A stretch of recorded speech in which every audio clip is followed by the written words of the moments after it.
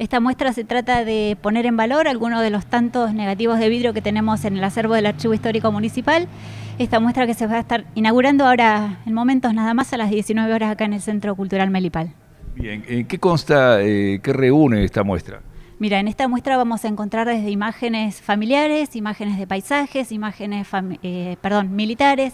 Hay diversidad de imágenes. Lamentablemente no tenemos la datación de estas imágenes porque llegaron de distintas maneras al, archivo. Pero bueno, la idea por ahí de, de ponerla hoy en exposición es también poder reunir esta información que nos está haciendo falta hoy en el archivo. Bien. Eh, ¿De qué manera se hizo el archivo de estos negativos de vidrio que son tan particulares?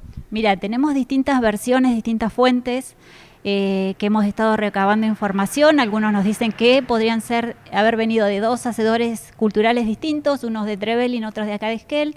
En principio algunos habrían sido encontrados en la vía pública y este hacedor al reconocer el valor que tienen estos soportes documentales los acercó a cultura. De igual manera lo hizo este otro hacedor cultural que los encontró en un galpón abandonado.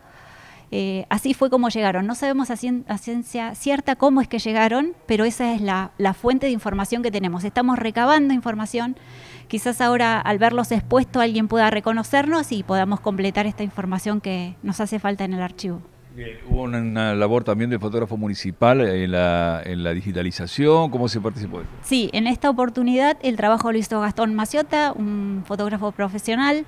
Anteriormente lo habría hecho Roberto Campos hace más de 10 años atrás. Nosotros al encontrarnos en el archivo que no estaba esta documentación completa en su totalidad, decidimos digitalizarlo nuevamente.